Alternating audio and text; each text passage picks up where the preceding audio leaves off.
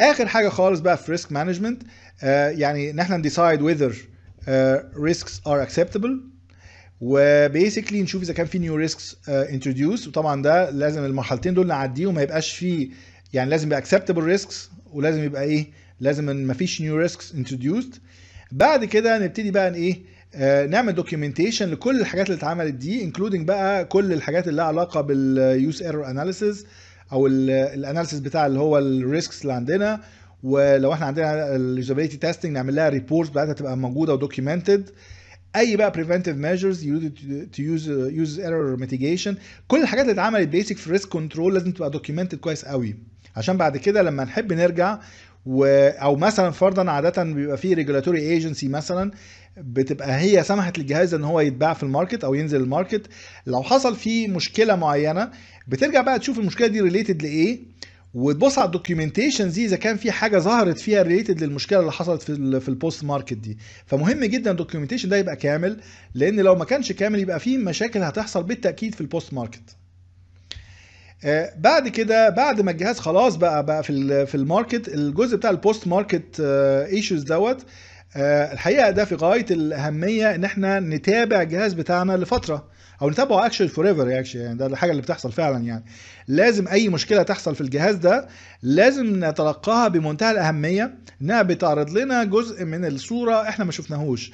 إحنا بالظبط اللي عملناه في ال usability testing إحنا عملنا sampling okay؟ خدنا samples كده وجربنا ومنها بنينا conclusions لا إحنا هنا بقى بنعمل يعني basic ناخد much يعني much closer sampling أو much يعني آه، آه، يعني much more يعني detailed feedback من ال market.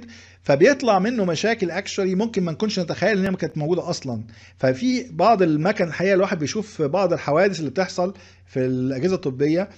يعني في منتهى الصعوبة إن الواحد يتخيل إن المشكلة دي تحصل actually في أي مرحلة من المراحل بتاعة الاختبارات اللي قبل ال market. ففي حاجات بتحصل نتيجة لح- لحالات خاصة جدا بتحصل في ال environment بتاعة المستشفيات. فيعني دي كلها نعتبرها إنها feedback مهم قوي. مش عشان بس الجهاز بتاعنا ده نقدر نحسن فيه لا عشان بعد كده الأجهزة التانية نقدر برضو إن إحنا نعمل فيها نفس الحاجة. أو ناخد ال feedback ده بعد كده يبقى هو concept أساسية ما, ما, ما ينفعش إن إحنا نعمل جهاز من غير ما تكون ال concept دي موجودة فيه. آه، نختصر بقى ال process كلها كده ويبقى دي آخر جزء في في المحاضرة دي.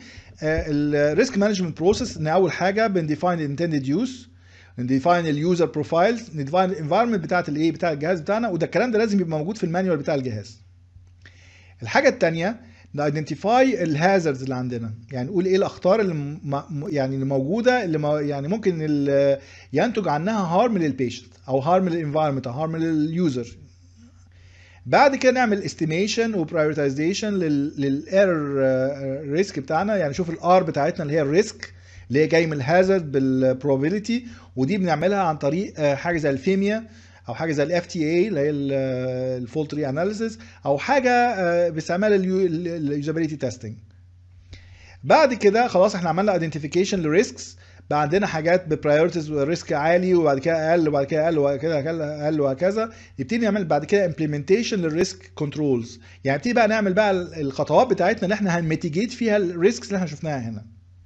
بعد كده ن validate نتأكد إن إحنا فعلا الكلام ده فعلا آه، يعني بيحقق فعلا الحاجة اللي أنا المفروض أعملها ولا لأ. ده بيتعمل عن طريق usability testing وبعديها بن check إذا كان في ال risk بتاعنا بعد التحسين دوت أو بعد ال mitigation دوت هل بقى acceptable وهل في risks جديدة ابتدت تبقى موجودة ما كانتش موجودة قبل كده؟ لو الاثنين دول okay لو ده ما فيش يعني هو ده acceptable وده ما فيش new risks بعد كده ب move للمرحلة بتاعت ال documentation بقى ب document كل المراحل اللي فاتت دي. وبعد كده ب release المكنة بتاعتي بقى في المرحلة اللي هي في النص دي يعني ده بينزل ال market هنا. وبفضل بعد كده بقى forever ب monitor unanticipated risks in post market يعني افضل أشوف بعد كده إذا كان في أي مشكلة هتنشأ من الجهاز بتاعي ده في أي وقت بقى بعد ما الجهاز بتاعي يبقى موجود في ال market.